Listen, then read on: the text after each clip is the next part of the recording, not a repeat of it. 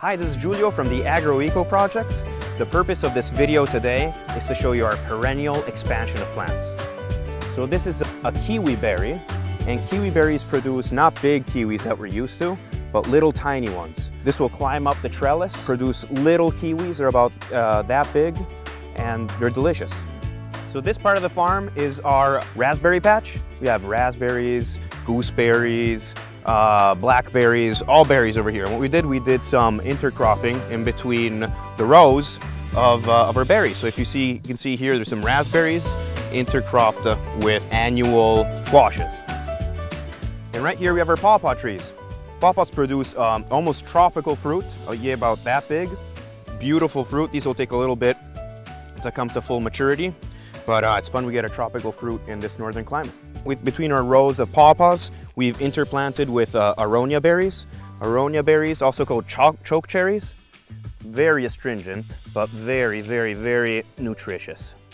So this is a recent expansion of our farm. We just put in these new beds in here.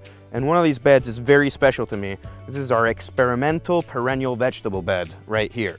The rest of the farm we have berries and we have uh, apples, pears and fruit uh, that come from perennial plants. Uh, what we're trying to do is develop perennial vegetables um, that we can work into our diet. So in this bed we have our three perennial vegetables. This is the first year we've done these and clearly we planted them a little too close to each other so they're kind of crowding themselves out.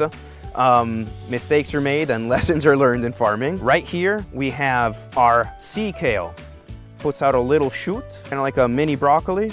And back in the day, they used to um, put a bell on top and blanch it, and it kind of looked like a blanched asparagus. Uh, the leaves are tender too. You can treat them as a collard, collard green. And again, this is a hardy plant that comes back every single year without the need for us to till and uh, replant every year and weed and whatnot. All right, the next perennial vegetable we have in this row is Turkish rocket. The leaves are very peppery, very spicy, and this will also, this will put out a little shoot that looks like exactly like a little broccoli rubbish shoot. And the last perennial vegetable we have in this bed is Good King Henry. A lot of you know it as a weed. Good King Henry is a perennial plant that makes almost like a spinach leaf.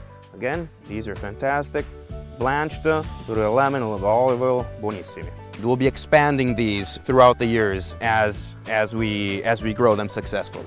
This right here is our mushroom log patch.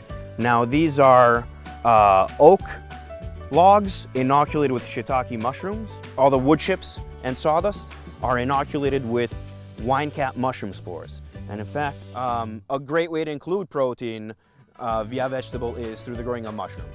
And shiitake mushrooms and wine caps can do that for us. Again, we're trying to maximize space in the farm efficiently. And over here we have another system of uh, intercropping, annuals and perennials. So here we had leftover tomato plants from our flat trays and we put them in, in just containers going down. Um, and then as you can see down here, we have a, two rows of garlic chives going all the way down. These are perennial. These are great for making pesto, for chopping. And then right in between here are gooseberries. So here we're at the beginning of our market garden with all our different rows. We tend to put our herbs in, in these initial parts. Um, right here is a lovely perennial herb I'd like to talk to you about. It's called lovage. And lovage, you can see now it's at the end of the season. This is drying up uh, up here. But down here we have some tender shoots. Lovage is what they call in Italy mountain celery. Um, it's basically a perennial celery. Now it's tough to eat off like this. Not only is it tough, but it has a very, very strong flavor. However, if you sub, when you're cooking, if you substitute celery, which is an annual plant, with lovage, which is a perennial plant, it's a great way to work perennial vegetables into your diet.